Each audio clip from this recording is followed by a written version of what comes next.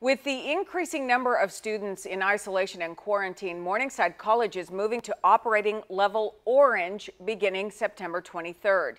In a letter to students and faculty, college leaders say the campus will remain in orange until further notice. The hope is that numbers will stabilize and begin trending downward so the college can return to the operating level of yellow in the coming weeks. College administrators say the following changes will be required when moving to orange. So here's what that orange level means. All face-to-face -face classes will be required to be taught in a hybrid format that allows for adequate physical distancing within each classroom. Seating in the CAF will be further reduced to ensure more physical distancing. All co-curricular activities may continue. Physical distancing and face covering should be used where possible. Here's a look at cases of COVID-19 among Morningside College students and staff. Today, the college reported 46 new student cases that were identified during the week of September 14th through September 20th.